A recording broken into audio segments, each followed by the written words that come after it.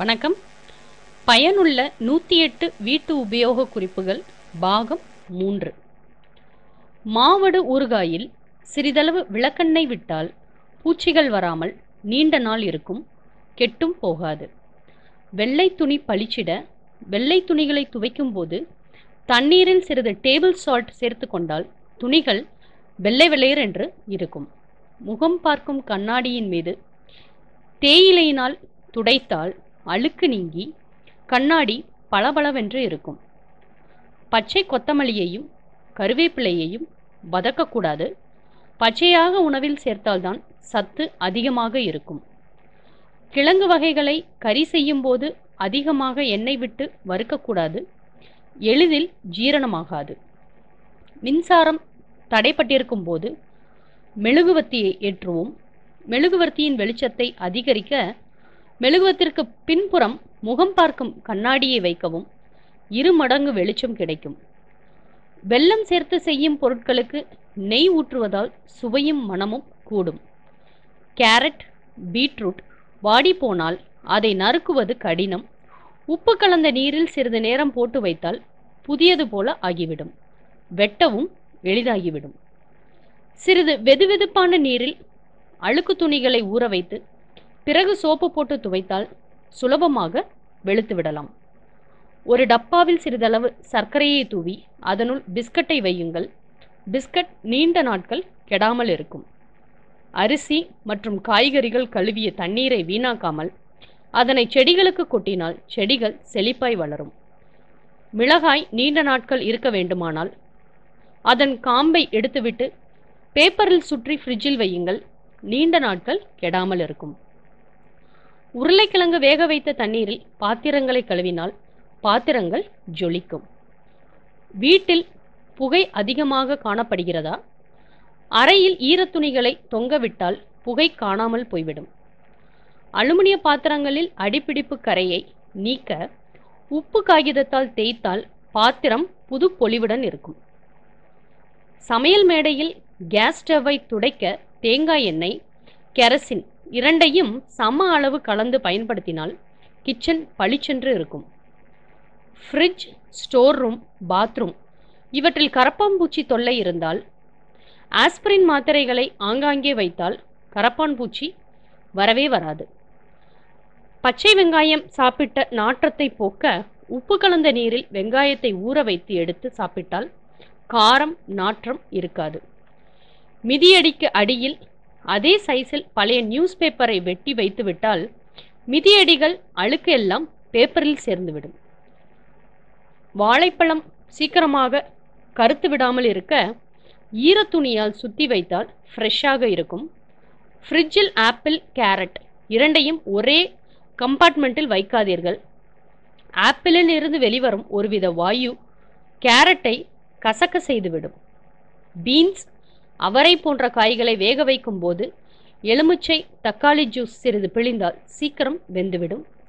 லேசான வெந்நீரில் வெங்காயத்தை நனைத்து வெட்டினால் கண்கள் எரியாது. உணவில் அதிக அளவு உப்பு சேர்ந்துவிட்டால் உரித்த உருளைக்கிழங்கை அப்படியே உணவில் போட்டுவிடுங்கள் உணவில் அதிகமாக இருந்த உப்பு குறைந்துவிடும். சாப்பிட்ட பிறகு சிறிது வினிகரும் பேரஃபின் எண்ணெயும் கலந்து மேஜையை துடைத்துவிட்டால் மேஜை பளபளப்பாக இருக்கும். நாற்றம் இருக்காது. கொஞ்சம் நீரில் கடுகு எண்ணெய் கலந்து மிருதுவான துணியில் நனைத்து மரஜாமான்களை துடைத்தால் வார்னிஷ் செய்தது போல இருக்கும். பழைய புத்தகங்களை பூச்சி அரிப்பில் இருந்து பாதுகாக்க புத்தக அலமாரியில் சிறிதளவு புகையிலையை தூவினால் பூச்சி அரிப்பு இருக்காது. வேக வைத்த உருளைக்கிழங்கு தோலை வீணாக்காமல் அந்த தோலை கொண்டு கண்ணாடிகளை துடைத்தால் பளிச்சென்று மின்னும். முட்டை நீண்ட நாட்களுக்கு கெடாமல் இருக்க முட்டைக்கூட்டின் மீது சிறிதளவு ரீஃபைண்ட் ஆயில் தேய்த்தால் கெடாது. உள்ளங்கையில் சில சொட்டு சமையலெண்ணெய் ஊற்றி தேய்த்து கொண்டு மீனை சுத்தம் செய்தால் கைகளில் மீன் நாற்றம் அடிக்காது. சர்க்கரை வைத்திருக்கும் பாத்திரத்தில் எப்போதும் எறும்பு தொல்லை இருந்தால் அந்த பாத்திரத்தினுள் நான்கைந்து கிராம்பை போட்டு எறும்பு வராது.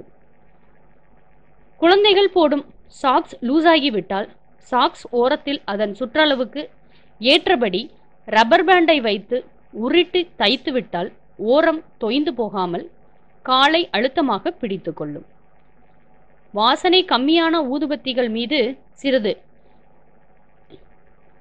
சென்ட்டை தடவிய பின் ஏற்றி வைத்தால் வீடு முழுவதும் வாசனை தூக்கும். மிக்சியில் அரை அரைக்க போடும் பொருட்கள் ரொம்ப கொஞ்சமாக இருந்தால் தட்டினால் மூடிவிட்டு அரைத்தால் நன்றாக அரைபடும். வெள்ளை கலர் டெலஃபோன் அழுக்கு ஏறி இருந்தால் நெயில் பாலிஷ் ரிமூவரால் அழுத்தி துடைத்தால் பளிச்சென்று ஆகும். பிளாஸ்டிக் குடம் வீணாகி போனால் பாதிக்கு மேல் வெட்டி அதாவது மேல் பாகத்தை வெட்டிவிட்டு குப்பை கூடையாக அல்லது செடி வளர்க்கும் தொட்டியாகவும் பயன்படுத்தலாம். சோப்பு தண்ணீர் கொண்டு கேஸ் அடுப்பை துடைக்க போ துடைக்கும் போது டியூபையும் துடையுங்கள். இதனால் டியூப் நெடுநாள் உழைக்கும் சுத்தமாகவும் இருக்கும். வீட்டு மர ஜாமான்களுக்கு உபயோகிக்கும் பெயிண்டை முரத்தில் தடவி காய வைத்தால் நீண்ட நாட்கள் முரம் புதுசு போல இருக்கும் பூச்சிகளும் அரிக்காது. டூல் பாக்ஸில் ஒரு சாக்பீஸ் கட்டி அல்லது கறி துண்டை போட்டால் அது ஈரப்பசையை உறிஞ்சி டூல்ஸ் துருபிடிக்காமல் இருக்க உதவும். செருப்பின் மேல் மேல் பாகத்து தோலின் அடிப்பாகத்தில் மெழுகுவத்தியை நன்றாக தேய்த்து பிறகு அணிந்து கொண்டால் செருப்பு கடிக்கவே கடிக்காது. துணி பீரோவை சுத்தம் செய்யும் போது முதலில் பீரோ தட்டுக்களில் பயன்படுத்திய கொசு மேட்டை ஐந்தாறு பரப்பி அதன் மேல் பேப்பரை போட்டு துணியை அடுக்கினால் ஒரு வருடம் வரை பூச்சிகள் நெருங்காது. கொசு தொல்லைக்காக போடப்பட்டுள்ள நெட்லானில் சிறிய துளைகள் ஏற்பட்டுவிட்டால் செலோடேப் கட் கட் பண்ணி ஒட்டலாம். கருவேப்பிலை செடிக்கு புளித்த தயிர் அல்லது மோர் விட்டால் நன்கு செழிப்பாக வளரும். தயிர் பாத்திரத்தின் உள்ளே தண்ணீர் விட்டு குழப்பி அந்நீரையும் விடலாம். குழந்தைகளுக்கு உபயோகித்த சின்ன சைஸ் கொசுவலை துணியில் எம்ப்ராய்டரி கைவண்ணம் காட்டி டிவி கவராக பயன்படுத்தலாம்.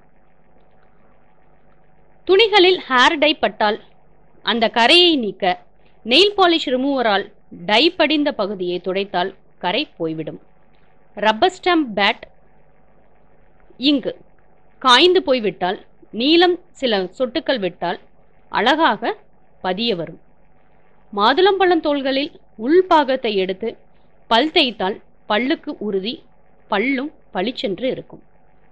மேலும் தகவல் அறிய சேனலை சப்ஸ்கிரைப் பண்ணுங்க. நன்றி வணக்கம்.